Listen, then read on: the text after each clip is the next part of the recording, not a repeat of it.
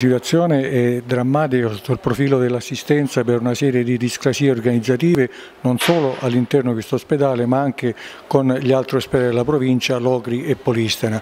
Noi stiamo disperatamente tentando da mesi di parlare con l'amministrazione, con le amministrazioni, ma purtroppo non c'è verso che ci si riesca a sedere al tavolo per, eh, perché ascoltino i nostri suggerimenti e soprattutto ascoltino cosa non va bene. Sono chiusi in un'area torre, in, nella loro aurea torre e non intendono ascoltare. Siamo addirittura dovuti andare sia dal prefetto che dal sindaco per lanciare questo grido d'allarme perché alla fine non chiediamo né soldi né posti né prebende, ma noi diciamo da medici, quelli che hanno il problema in mano, che con questa situazione drammatica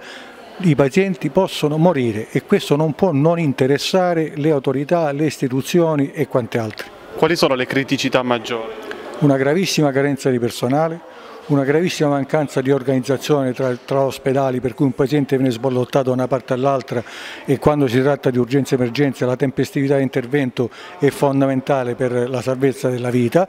eh, una carenza nell'acquisizione di materiale perché siamo molto attenti a non spendere per tenere il bilancio in pareggio e credo che ho detto tutto, e mancanza di posti letti. A ciò aggiunga che c'è eh, il commissario d'Acta che è stata la tragedia, la rovina della sanità in questa regione e il quadro è completo, solo che noi non siamo più disponibili da medici ad assistere e ad assistere male i nostri pazienti, perché quando un paziente muore è vero che c'è un medico, ma soprattutto noi pensiamo al paziente che muore e non possiamo più continuare a tenere queste situazioni ad altissimo rischio per i cittadini. Quali sarebbero le soluzioni? La soluzione innanzitutto eh, immediatamente adeguare eh, l'organico soprattutto nell'ambito dell'emergenza urgenza, questa è la cosa fondamentale e la seconda è raccordarsi con protocolli, si chiamano protocolli diagnostico-terapeutici assistenziali tra i tre ospedali della provincia, cosa che oggi non c'è perché ognuno va per fatti suoi.